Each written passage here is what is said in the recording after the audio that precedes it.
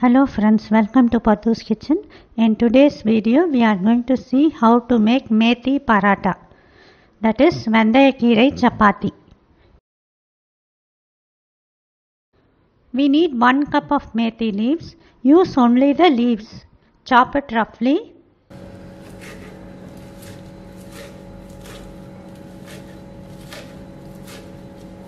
In a bowl or plate, add methi leaves. 2 tablespoons thick curd, quarter teaspoon turmeric powder, a teaspoon of ginger garlic paste, a teaspoon of chili powder, a tablespoon of oil, 1 teaspoon roasted cumin powder, 1 teaspoon roasted sesame seeds, salt needed. Mix this well. 1 cup whole wheat flour, 2 tablespoons Bengal gram flour or besan. Mix this well first.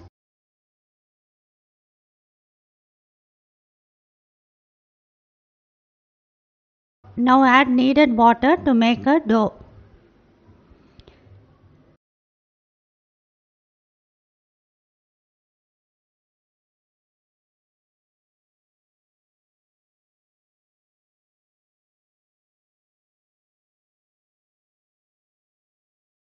Grease your fingers with oil and knead the dough well.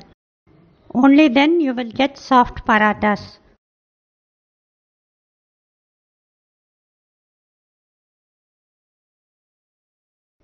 If you find the dough sticky, add a little wheat flour.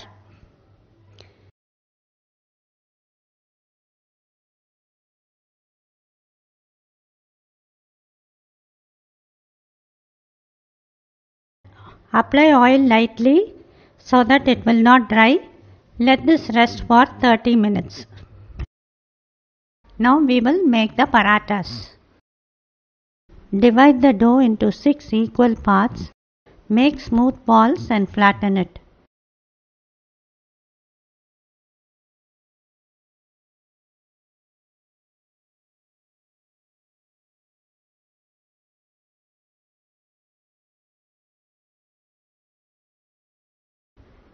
Dust flour and roll it out gently into a circle.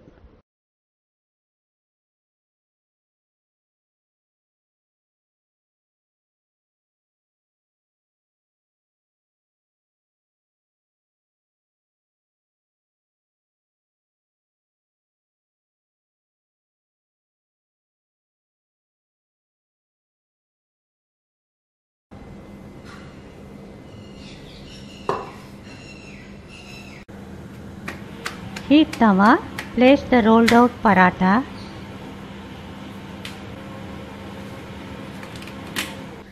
Once you find bubbles forming on the surface, press it gently using a cloth or spatula.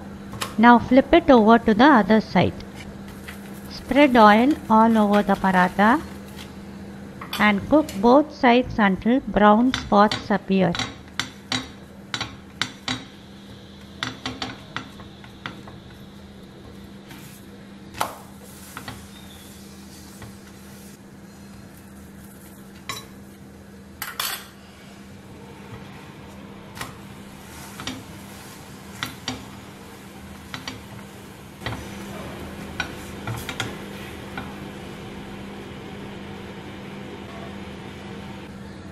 Repeat the same for the rest of the rolled out dough.